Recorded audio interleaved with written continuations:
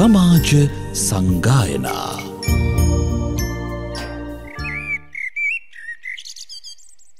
සමන්තා චක්කවාලේසු අත්‍රා ගච්ඡන්තු දේවතා සද්ධම්මං මුනේ රාජස්ස සුනන්තු සග්ග මොක්ඛදං ධම්ම ශවන කාලෝ අයං බදන්තා. ධම්ම ශවන කාලෝ අයං බදන්තා. ධම්ම ශවන කාලෝ අයං බදන්තා. නමෝ තස්ස භගවතෝ අරහතෝ සම්මා සම්බුද්දස්ස. නමෝ තස්ස භගවතෝ අරහතෝ. සම්මා සම්බුද්දස්ස. නමෝ තස්ස භගවතෝ අරහතෝ. සම්මා සම්බුද්දස්ස. පබස්සර මිදං භික්ඛවේ චිත්තං තංචකෝ ආගන්තුකේහි උපක්කිලේසේහි උපක්කිලිට්ටං තේ. තුනරුවන් සතු අනන්ත අසිරිමත් වූ ගුණ බලයෙන් පින්නතු ඔබ සියලු දෙනාම නිදුක් වේවා නිරෝගී වේවා. සුවපත් වේවා සියලු කායික මානසික සුවයන් නොඅඩුව ලැබ හැම සනසිල්ලක් වේවා. උතුම් වූ ධර්මාබෝධයෙන් වේවායි. පළමු කොට ඊ타මත් කරුණාවෙන් අදිෂ්ඨාන කරනවා ප්‍රාර්ථනා කරනවා. ඒ වගේම මේ විශේෂයෙන් මේ දිනවල අපේ රටේත් ලෝකයේත් පැතිර පවත්නා කොරෝනා උවදුර ඉක්මනින්ම තුරන් වෙලා මුළු ලොවටම ආරක්ෂාවක් ශාන්තියක්ම වේවායි නැවතත් කරුණාවෙන් අදිෂ්ඨාන කරනවා ප්‍රාර්ථනා කරනවා. ජීවිත ගමනේ අපි කවුරු කවුරුත් සොයාගෙන යන්නේ සන්තෘෂ්ටියයි.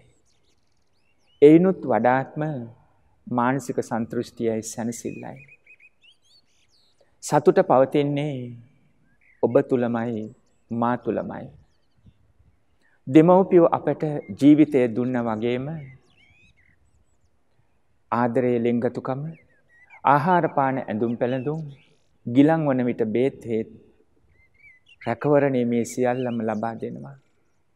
ඒ වුණත් ඒ ඔස්සේ හැබෑම සතුට මතු කරගන්න ඕනේ අවබෝධයෙන් යුතුව අප අප විසින්මයි.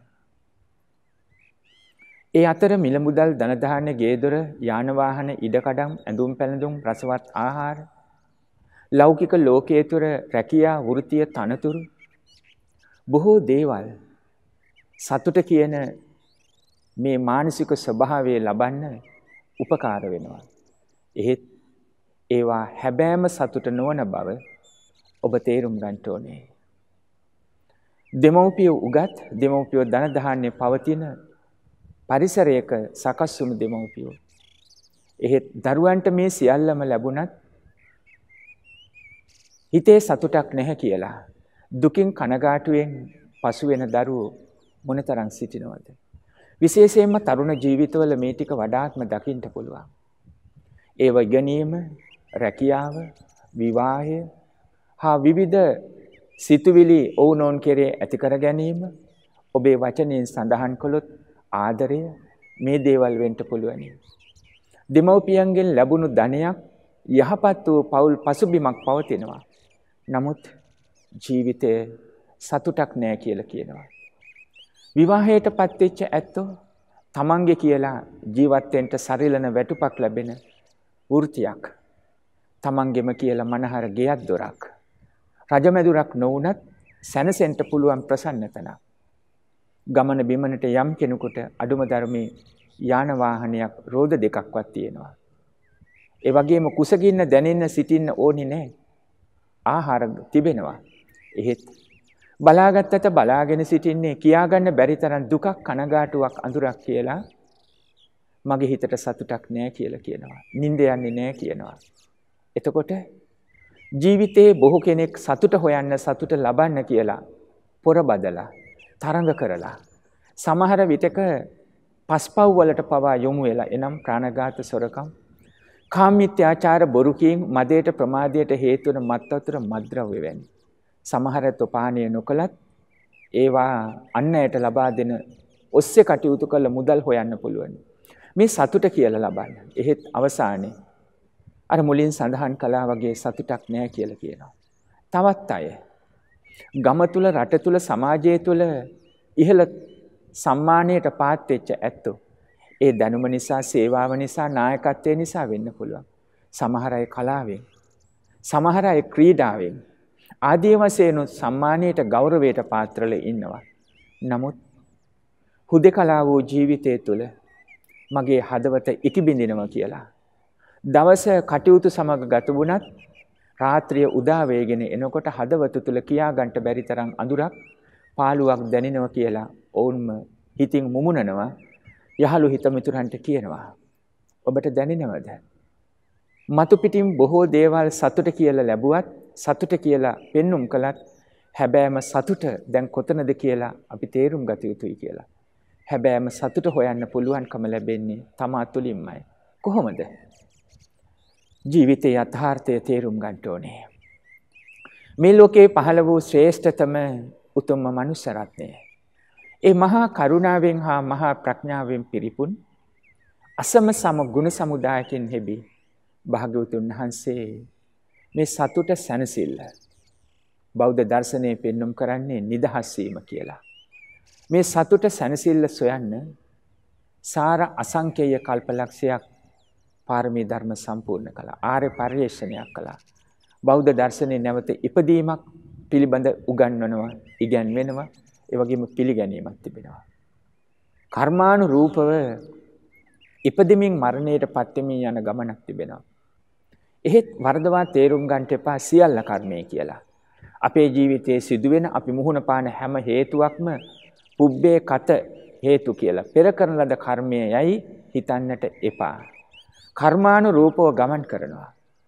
මේ ජීවිතයේ මියදෙනකොට තමන් කරපු කියපු දේවල් හොඳ සහ නරක වඩා ප්‍රබල දේ මතුවීමෙන් කුසලයේ හෝ අකුසලයේ මතුවීමෙන් ඒ චුතියට භවංගේ අවසාන කෙලවර චුතිය චුති චිත්තයට මතුවීමෙන් කුසල් නම් සුගතියක් මනුස්ස ලෝකයක් හෝ දෙව්ලොවක් එහෙම නැත්නම් අකුසල් හෝ පාපය චුතියට මතු වුනොත් සතර අපාය තැනක එනම් දුගතියක් හිමි වෙනවා චුතියෙන් අනතුරුව පැහැදිලිවම ප්‍රතිසන්දිය ලබා දෙන්නේ ඒ කුසල කුසල කර්ම ශක්තිය අනුවයි.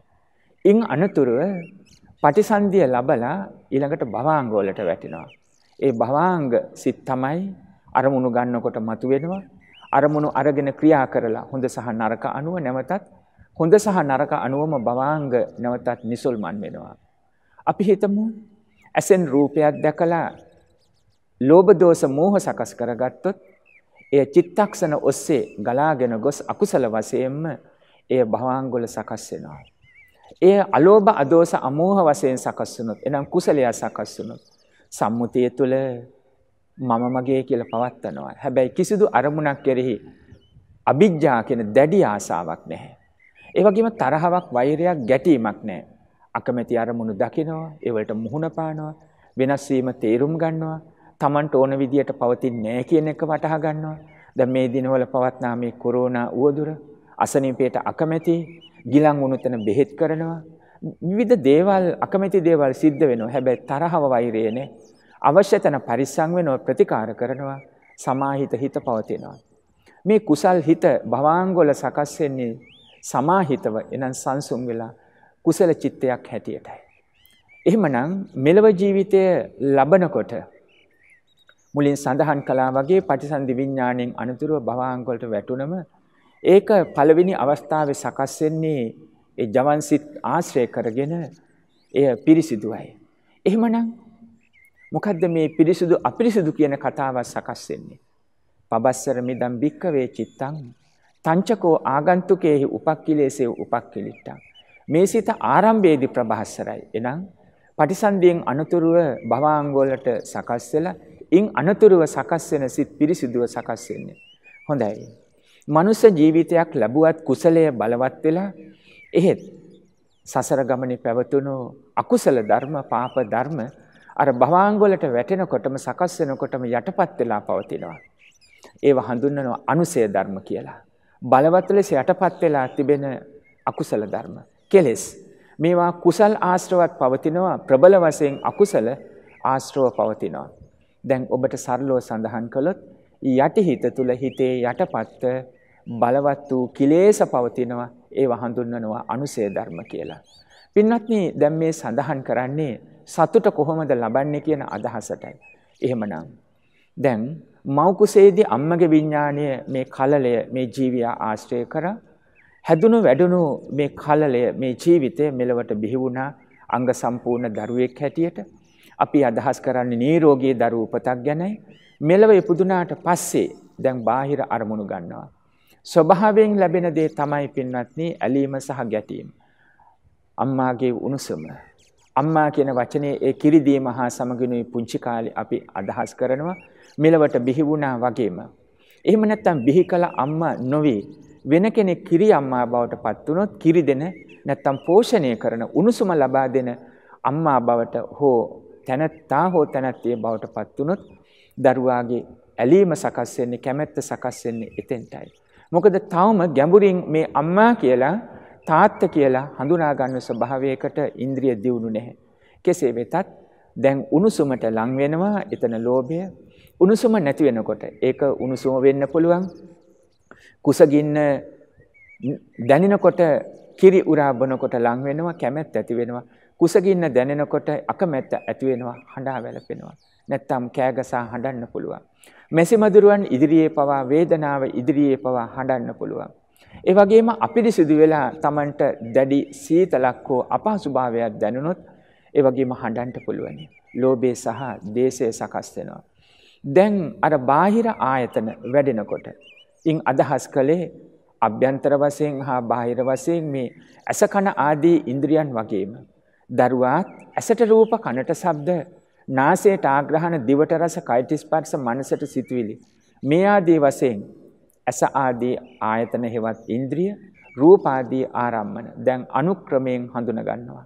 දැන් මේ අවුරුදු ඉපදුණු අවස්ථාව දවස් කීපයක් සතියක් සුමාන කීපයක් මාසයක් මාස කීපයක් අවුරුද්දක් අවුරුදු කීපයක් ආදී වශයෙන් වැඩෙනකොට අනුක්‍රමයෙන් ආදරයේ උණුසුමත් අකමැති තුල ගැටීමත් හා සමගින් දැන් අම්මා තාත්තා හා තමන්ට ආදරය කරන ලෙන්ගතු අය හා හඳුන ගන්නවා. වෙනදා සාමාන්‍යයෙන් සිනසුනාට වඩා දැන් කැමැත්තෙන් තමන් කැමති අය ඒ වගේම තමන් උණුසුම ලබා දෙන තමන්ට ආදරය දෙන අය හා සමගින් ලං වෙනවා. ඒ වඩා ගන්නකොට කැමතියි කියලා ඒ අත්වලට යනවා.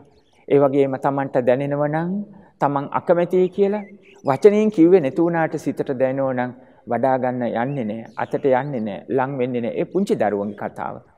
දැන් අනුක්‍රමයෙන් ලොකු වෙනකොට බාහිර අරමුණු මේ හිතට එන්න පටන් ගන්නවා. ඒ කොහොමද? ඇසෙන් රූප දකිනවා. කනින් ශබ්ද අහනවා.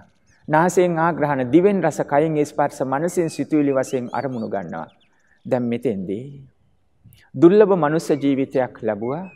බෞද්ධ දර්ශනය අනුව සඳහන් කරනවා දුර්ලභංච manussත්තං ඒ ඊටාම දුර්ලභ මනුෂ්‍ය ජීවිතය ලැබුවා මේ ජීවිතේ ඊටාම පිං ඇති ජීවිතයක්. මිනිස්සෙක් වෙන්න පිනක් තියෙන්න ඕනේ. අහන්න පුළුවනි නම් ඇයි මම තිරිසන් ලෝකේ ඉපදුනේ නැත්තේ කියලා. ඇයි මම සතෙක් වුණේ නැත්තේ කියලා අහන්න පුළුවනි නම් Tamanටම තේරුම් ගන්න පුළුවනි දුර්ලභව ලබාගත් මනුෂ්‍ය ජීවිතේ මොනතරම් වටිනවද කියලා. ඔබත් මමත් පින්වත්නි සැනසෙන්න ඕනේ. අසනීප නම් බෙහෙත් කරන්න. එහෙම නැත්නම් අපි උපතින් ලද හැමේ පාට ගැන මුහුණේ ස්වභාවය ගැන උස මහත ගැන ගැටලු ඇති කරගන්න එපා. මතකයිනේ. අසනීපනම් උපතේ පටන් ප්‍රතිකාර කරන්න. ඒක හැමේ රෝග වෙන්න පුළුවන්. ඒ වගේම ශරීරයේ කුමක් හෝ අසනීප වෙන්න පුළුවන්. බේත් හේත් කළ යුතුයි. එහෙම නැතිනම් තරමක් හෝ වෛද්‍යවරුන් පවසන ආකාරයෙන් නිරෝගී උපතක් කියලා. හැදෙන වැඩෙනකොට උන සාමාන්‍ය වශයෙන් බේත් හේත් කරන්න පුළුවන්. නමුත් අපි උපතින් ලද හැමේ පාට කළු හෝ සුදු හෝ දුඹුරු වෙන්න පුළුවන්. අපි නීරෝගී නම් ඔය සියල්ලටම වඩා අපට වටින්නේ මම දුර්ලභ මනුස්ස ජීවිතයක් ලැබුවා නේද කියලා. මෙන්න මෙතෙන් පටන් ජීවිතේ අපි සතුට ලබන්න ඕනේ. දුර්ලභව ලැබූ මනුස්ස ජීවිතයට වටිනාකමක් දෙන්න ඕනේ. තමා තමා අගය කරගන්න ඕනේ. දුර්ලභ මනුස්ස ජීවිතය මට වටිනවා. මේ ජීවිතයෙන් උතුම් ප්‍රෝජනයක් ගන්න ඕන කියන තැනක ඔබේ හිත පිහිටුවන්න. පළවෙනි සතුට මිනිස්සෙක් වීමෙන් ඔබ ආරම්භ කරන්න. මේ සතුට රඳව ගන්න නම් බාහිර උපකාර අවශ්‍යයි. ඒ අම්මා තාත්තා. හැබෑවටම සත්පුරුෂ දෙමව්පියෝ වචනේ මතකයිනේ සත්පුරුෂ ගුණවන්ත දෙමව්පියෝ. ඒ වචනයට නොගැලපෙන දරුවන් බිහි කළ නමුත් සාමාන්‍යයෙන් වචනයෙන් හඳුන්වන අම්මලා තාත්තලා ඒ සත්පුරුෂ ගුණවන්ත කියන වචනයට එකතු වෙන්නේ නැහැ. නමුත් මේ ලෝකයේම වැඩිපුරම දෙමව්පියෝ සත්පුරුසයි ගුණවන්තයි. අන්නේ සත්පුරුෂ ගුණවන්ත දෙමව්පියෝ තමන් අනුගමනය කරන ධර්මය අනුව මෙහිනම් බෞද්ධ දර්ශනය අනුව ඔබ කුමන හෝ ආගමකට අයිති නම් ඔබගේ ආගම දහම අනුව රට ලෝකයේ සිරිත් විරිත් අනුව අඩුම තරමේ මනුස්සකම අනුව මනුස්සකම කියනකොට ආදරයට ලෙන්ගතුකමට මුළු ලෝකයම කැමති. මිනිස්සු පමණක් නෙමේ සතුන් පවා කැමති. නමුත් ගහනවට බනිනවට මේ ලෝකේ කවුරුවක් කැමති නැහැ. ඔබත් ඔබේ මෙහිතින් අහලා බලන්න. ජීවිතයේ සතුට හොයාගෙන යනකොට ඔබ කියන ආදරය හොයාගෙන යනකොට ලෙන්ගතුකමට කැමති. හැබැයි ගහනුවට බනිනුවට දුකට කඳුලට කවුරුවක් කැමති නැහැ. මෙන්න මේක මනුස්සකම හැටියට තේරුම් ගන්න. මොන රටක මොන ජීවත් වුණත් ඉපදුණත් මොන භාෂාවක් කතා කළත් මොන සංස්කෘතියකට ආගම දහමකට අයිති වුණත් ආදරයයි කරුණාවයි Tamanට දැනෙන තැන එතෙන්ට එකතු වෙනවා. දුක කනගාටුව කඳුල නැගෙන තැන එතනින් පලා යනවා එතනින් ඉවත් වෙනවා. මෙන්න මේ මනුස්සකම තේරුම් අරගෙන ජීවිතය ගැන ගැඹුරින් දකිනවා. දෙමව්පියෝ ඒ දරුවන්ව පවෙන් වළක්වනවා. බෞද්ධ දර්ශනය අනුව නම් ප්‍රාණඝාත සොරකම් කාමීත්‍යාචාර බොරුකීම් මදයට ප්‍රමාදයට හේතුන මත් වතුර මද්‍රව්‍ය ආදී වශයෙන් පස්පව් දස කුසල් වලින් දෙමව්පියනුත් ඒ ගුණේ පිහිටා ආදර්ශමත්ව තවම රහත් වෙලා නැති බව හැබෑව. සියලු කෙලෙසුම් මුළුමනින් ප්‍රහාණය කොට නැති බව හැබෑව. හැබැයි වැඩි කොටසක් සත්පුරුෂ ගුණවන්ත වෙන්න පුළුවන්නේ අඩුපාඩු තියෙන ජීවිත තියෙනවා. හැබැයි අඩුපාඩු අඩු කරගෙන හොඳ දේවල් අපි මේ පෙන්වා දෙන ඒ දහම හා සදාචාරය සමාජයේ පොදුවේ පිළිගත්ත යහපත් වූ දේවල් රටක ලෝකයක ජීවත් වෙනකොට කොතනක ජීවත් වුණත් මහපාරේ බැහැලා ගියත් නීතියක් තියෙනවා. අන්නේ නීතියට ගරු කිරීම, අඩුගානේ මහමග අපවිත්‍ර දෑ නොදැමීම, කුණු කසල නොදැනීම ආදී වශයෙන් අන් අයට Taman නිසා දැන දැන කරදරයක් විපතක් ඇති නොවෙන්න කටයුතු කිරීම මෙන්න මේ ආදී වශයෙන් මේ විදියට හොඳ නරක තේරුම් අරගෙන අපිට පුළුවන් දෙමව්පියෝ ඒ දෙමව්පියන්ට දරුවන්ට මේ ටික කියා දෙන්න. කුඩා කාලේ ඉඳලා මේ මඟ පෙන්නුවම අන්න එතෙන්දි දරුවෝ හිතට ලබා ගන්න හොඳ දෙයක්. මතකයිනේ? ආරම්භයේදී අර භවාංගයට සකස් වුණු සිත ආරම්භ වෙන්නේ පිරිසිදුයි. බලවත් ලෙස යටපත් වෙච්ච කෙලෙස් තියෙනවා. නමුත් මේ සකස් වුණු හිත් ජවන් වල පටන් පිරිසිදුව පටන් ගන්නවා. හැබැයි බාහිරව එන ඇසට රූප කණ්ඨ ශබ්ද වශයෙන් බාහිරව එන ආරම්මන සිත පිරිසුදු කරන්නත් පුළුවනි අපිරිසුදු වෙන්නත් පුළුවනි. සත්පුරුෂ ගුණවන්ත අම්මා කෙනෙක් අපච්චි කෙනෙක් අර හොඳ නරක විස්තර කළා වගේ කියා දෙනකොට. ඒ වගේම පාසල් ජීවිතයට ලං වෙනකොට. gederedi දෙමව්පියෝ හඳුන්වන පුබ්බ දේව පුබ්බාචාර්ය මහා බ්‍රහ්ම ආහුනේය කියන ගුණ වලින්. මහා බ්‍රහ්ම කියලා කිව්වේ මෙත්තා කරුණා මුදිතා උපේක්ඛා කියන සතර බ්‍රහ්ම විහරණ පවතින නිසා. ඒ කරුණු මෙහි විස්තර කරන්නේ ඒ මහා බ්‍රහ්ම පුබ්බ දේව පූර දෙවියන් දෙවියන් කියන වචනය ගෞරවනීය වචනයක්. Gedara දෙවියෝ හැටියට පූර්ව දෙවියෝ හැටියට පුබ්බ දේව පුබ්බාචාර්ය පූර්ව ආචාර්යින් හැටියට දෙමව්පියෝ ආහුනේය. දෙමව්පියෝ වන්දනාවට සුදුසුයි. ගෞරවයට සුදුසුයි. ඕනම දුෂ්කර කාලයක දුරු කතරක සිට නමුත් ආහාර පාන ආදිය ගෙනවිත් පුදන්නට පිළිගන්වන්නට ලබා දෙන්නට දෙමව්පියෝ සුදුසුයි. ඔබ ඒ ගුණයට සිටිනවද? දෙමව්පියෝ හැටියට ඒ ගුණය තුල ඔබ රැඳී සිටිනවද? ඔබ දරුවන්ට ಗುಣ කියනවා වගේම ඒ ගුණයට සුදුස්සෙක්ද කියලා ඔබත් හිතන්ට දෙමව්පියෝ අන්න ඒ ගුණයන්ගෙන් යුතුව දරුවන්ට මඟ පෙන්වනකොට දැන් හැදෙන වැඩෙන ජීවිත බාහිර ගන්න අරමුණු හැකිතා දුරට පිරිසිදු වෙලා ඒක තමයි දෙපැත්තෙන් දක්වනවා. ඒ මොකද්ද? අම්මා අප්පච්චි හරියට දරුවෝ හැදුවේ නැත්තම් හොඳ පරිසරයක මේ දරුවෝ හැදුවේ නැත්තම් මොකද කරන්නේ? කොට්ටේ උඩ තිබ්බත් කකුලුව එතන රැඳෙන්නේ නැහැ. ඒකට මොකද කරන්නේ? මොනතරම් හොඳ දේවල් කියන්න හැදුවත් ඒක දෙන්න පුළුවන් කමක් ඇත්තේ නැහැ.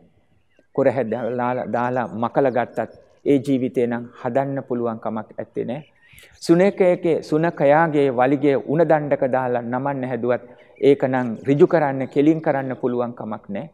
මේ අපේ රටේ සිංහල සංස්කෘතිය අනුව සමහර දේවල් සමහර චරිතවලින් කොයි තරම් කළත් උපදෙස් දුන්නත් කරුණාවෙන් මෛත්‍රියෙන් පැවසුවත් ඕනෑ කියන බොහෝ හොඳ පහසුකම් ආහාර පාන ඇඳුම් පැළඳුම් වල පටන් ලබා දුන්නත් අර වරද නිවැරදි කරන්න අමාරුයි. අන්න එතෙන්දී බෞද්ධ දර්ශනය කියනවා ඔව් ඉතින් සංසාර ගමනේ තියෙන කර්මයක් තියෙනවා නම් අකුසලයක් ඒක ඉතින් කාටවත් වෙනස් කරන්න බෑ. තථාගත බුදුරජාණන් වහන්සේ පවා කර්ම දෝෂ වෙනස් කරේ නෑ වෙනස් කරන්න බෑ. හැබැයි හොඳ නරක පෙන්නලා දීලා කුසල් මගට යොමු කරාම සසරගත අකුසල කර්ම තිබෙනවා නම් ඒවායේ බලය හීන කරන්න සමහර තැනක ප්‍රහාණය කරන්න නැති කරන්න පුළුවන්. අන්න ඒ අය ධර්ම කතාව තුල සඳහන් කළේ යස්ස පාප කතං කම්මං කුසලේන පිටියති. කරන ලද පාප කර්ම කුසලයෙන් අඩු කරන්න බැහැර කරන්න පුළුවනි. අරහත්යෙන් තමයි මුළුමනින්ම බැහැර කරන්න පුළුවන්කම ලැබෙන්නේ. නමුත් සීල සමාධි ප්‍රඥා ගුණ දියුණු කිරීමෙන් එය තරමකට හෝ නැත්තං අකුසලේ පාපී විපාකය නරක විපාකය හීන කරන්න දුර්වල කරන්නවත් පුළුවනි.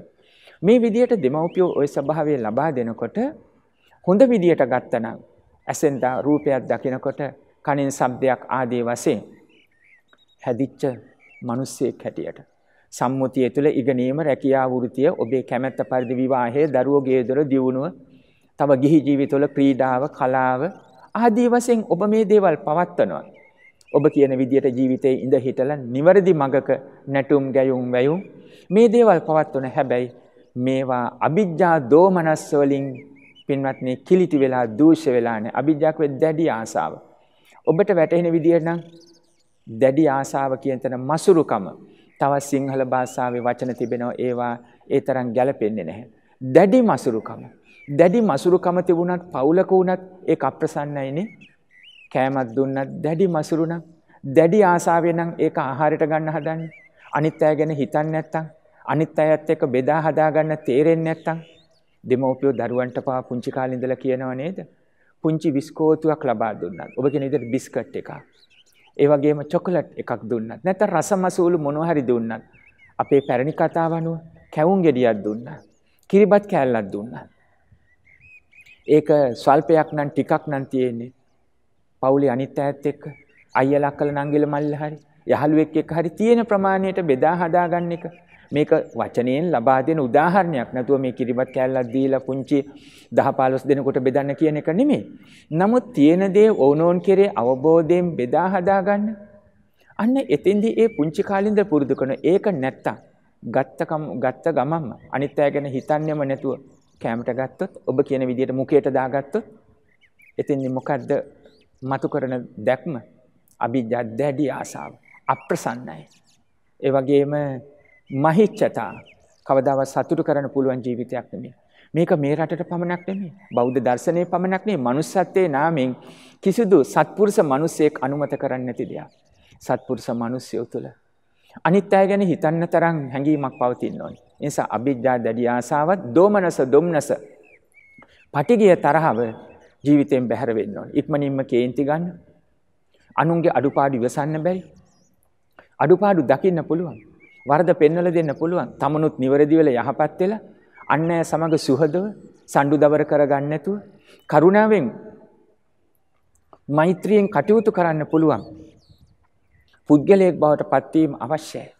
දැන් මම මේ සඳහන් කළේ දෙමව්පියෝ ගුරුවරු වැඩිහිටිය ආදී වශයෙන් අපි ළමා වයසෙන් තරුණ වයසටපත් වෙනකොට අපි දැන් යම් අවබෝධයක් ලබනවා. පුංචි කාලේ සතුට කිව්වේ දෙමව්පියෝ ළඟට ලං වෙනකොට. ඉගෙන ගන්න කාලේ ක්‍රීඩා කරනකොට විභාගය සමත් වෙනකොට යාළු හිත මිතුරුත් එක්ක එකතු වෙනකොට. හැබැයි අවබෝධය ලබනකොට අපි හිතමු 13 15 18 ආදී වශයෙන් ජීවිතයට එනකොට හැබැයි සතුට කියන්නේ කුමක්ද කියලා දැන් තේරුම් ගන්නවා. අර හොඳ සහ නරක හා සමගින් හිත ආධ්‍යාත්මයේ යහපත් වුණාම බාහිර අරමුණු වලින් නරක දේ බැහැර කරලා හැකි තාද්දුරට යහපත් වූ අරමුණු සමග හිත පවත්වනකොට පැලේ හිටියත් මම නිවැරදියි. මගේ හිතේ සතුටක් තියෙනවා. පැදුරේ හිටියත් මම නිවැරදි මගේ හිතේ සතුටක් තියෙනවා. පොල් සම්බෝලයි බතුයි ගත්තත් මගේ හිතේ සතුටක් තියෙනවා සැනසෙල්ලක් තියෙනවා. ධර්මානුකූලව උත්සාහ කළා ධෛර්යයෙන් වීරයෙන් පෙර කරන ලද කුසලයක් මතු කරගෙන ධනවත් වෙලා මහමාලිගාවක ජීවත් වෙන්න පුළුවන්. නමුත් තද ආසාවෙන් ඇලීමක් නැහැ. වෙනස් වෙන තැන ගැටීමකුත් නැහැ. මොකද මොන විදියට බාහිර වස්තු අපි පවත්වා ගන්න හැදුවත් ඒවත් වෙනස් වෙනවා. දි รา ගෙන යනවා. නමුත් මේ ශරීරයත් හටගත් වගේම නැති වෙලා යනවා. රත්තරම් වාජනයක තිබ්බත් මොනතරම් පහසුකම් තියෙන ආසනයක වාඩි කරලා තිබ්බත් මේ ශරීරයත් හට අරගෙන බිඳී නැති වෙලා යනවා. අන්න ඒ නිසා ඒ බව දැනගෙන අර හටගත්ත හැම දෙයක්ම නැති වෙනවා කියන අවබෝධය හා සමගින් ලිංගතුකමයි කරුණාවයි මෛත්‍රියයි. ඒ වගේම ලද දේෙන් සතුට වෙන්න පුළුවන්. තද ආසාවන් කෑදරකම නැහැ. ඇස් දෙකෙන් බැලුවත් කන් දෙකෙන් ඇහුවත් දැඩි වූ රාගයෙන් නැතුව කරුණාවෙන් මෛත්‍රියෙන් යුක්තව වෙනස් වෙන ලෝකයේ තුල ගැටීමකින් තොරව ජීවිතය පාත්තන්න තරම් අපි අපේ හිත පුරුදු කරනකොට ඒකට කියන චිත්ත භාවනාවක් ලැබුවා කියලා. බෞද්ධ දර්ශනයේ තුල ධර්මයේ පෙන්눔 කරන්නේ යමක් හට ගන්නා සුළුද ඒ හැම නැසෙනවා. ඒ නිසා සම්මුතිය තුළ උත්සාහයෙන් ධෛර්යයෙන් අපි කටයුතු කරන්න ඉගෙනීම රැකියා වෘත්තිය ගේදර ආදී වශයෙන් එහෙත් හිත පුරුදු කොට තබන්න හටගත්ත හැම දෙයක්ම නැති වෙනවා. කිසිවක් මමයි මගේ ස්ථිරයි සදාකාලිකයි කියලා හිතෙන් දැඩිව ගන්න එපා කියලා. එතකොට පුද්ගලයෝ අතර සන්තුෂ්ටියක් ඇති වෙනවා. ඔවුනොවුන්ගේ අඩුපාඩුකම් කෙරේ තදින් ගැටෙන්න යන්නේ නැහැ. කරුණා මෛත්‍රිය මුල් වෙලා ඒකට විසඳුමක් ලැබෙනවා. දුර්ලභව මනුස්ස ජීවිතේ මොනතරම් වටිනවද? ඒ මනුස්ස ජීවිතයේ ගත වෙන හැම මොහොතක්ම මොනතරම් වටිනවද? සියල්ල අපිට දාලා යන්න වෙයි ඕනම මොහොතක. හඬන්න වැළපෙන්න නෙමෙයි. ඒ බව දැනගෙන ඔවුනොවුන් කෙරේ අවබෝධයෙන් ඔවුනොවුන්ට ගරු කරමින් සත්පුරුෂ මිනිස්සෙක් හැටියට ජීවත් වෙන්න ඕනේ. මේ ලෝකේ හැම මිනිස්සෙක්ම හොයාගෙන යන්නේ ආදරේ කරුණාව. ගහනවට බයිනවට කවුරුවක් කැමති නැහැ. මේ ටික තේරුම් ගන්න ඕනේ. මගේ ජීවිතේම මම උපමා කොට ගන්නවා. මට කවුරුවක් වරදක් කරනවා නම් මම කැමති නැත්තම් මේ ලෝකේ හැම මිනිස්සෙක් මේ වගේනේ ජීවිතය ගැන මෙහෙම අපි හිතන්න පුරුදු වෙනකොට අපේ හිත සංසිඳනවා. හැබෑම සතුට තියෙනවා. මුළු ලෝකයේම එක විටම අපට හදන්න පුළුවන් කමක් නැහැ පින්වත්නි. ලෝකේ හැමදාම හොඳ සහ නරක තිබුණා. පාප අකුසල තිබුණා. අප හොඳට කල්යාණ බවට කුසල් බවට පැමිණිලා නරක ලෝකයෙන් ආරක්ෂා වෙනවා. ඒකට වර්තමානයේ රටේ ලෝකයේ නීතියක් තියෙනවා. හැබැයි හිත ගිලන් කරගන්න නැතුව හිත තුල යහපත සන්තුෂ්ටිය සැනසෙල්ල ඔස්සේ ජීවිතය පවත්වන්න තරම් අර මෙතෙක් සඳහන් කළ දහම් කරුණු අවබෝධයේ ඔස්සේ අපේ සැනහෙනකොට හැබෑම සන්තෘෂ්ටිය තිබෙනවා. පිය වුණාදෙන් ඇස් දෙක අද රෑ වුණත් මේ මොහොතේ වුණත් මගේ හිත සතුටුයි කියලා ඔබට දැනේ. බාහිර වස්තු උපකාර කරගත්තත් සතුටට හැබැයි හැබෑ සතුට හොයාගන්න ඕනේ තමා තුලින් කියලා ඔබට දැනේ. නැත්තම් මහා මන්දිරයක රණින් කළ යහනාවක හිටියත් මගේ හිතට සතුටක් නෑ දුකක් ඔළුවේ හැරුණු අතේ යන්න හිතෙනවා කියලා කියන්න පුළුවන්. හැබැයි මේ අවබෝධය ගත්තොත් මුලින් සඳහන් කළා වගේ පැලේ හිටියත් කුස් තුන් වේලක් නෙමේ එක වේලක් ආහාරයට ගත්තත් මගේ හිත සතුටුයි කියලා ඔබට දැනේ. හිතන්නට ආරාධනා කරමින් ඔබ හැම නිදුක් වේවා. නිරෝගී වේවා. සුවපත් වේවා. හැම සැනසෙල්ලක් වේවා. කොරෝනා උදුරත් චිත්ත අධිෂ්ඨානයේ බලයෙන් වෛද්‍ය ප්‍රතිකාර කටයුතු සිදු කරන ගමනේ මානසික ශක්තියත් ඒ තුළින් ප්‍රතිශක්තිකරණියත් ශරීර තුල වැඩි දියුණු කරගෙන ඉක්මනින්ම ලොවෙන් කොරෝනා උදුර බැහැර වේවා. හැමතෙම ධර්මාබෝධය වේවා. චතුරාර්ය සත්‍ය ධර්ම අවබෝධයේ පිණිස උපකාර වේවා උතුම් තුනුරුවන් සරණයි සමාජ සංගායනා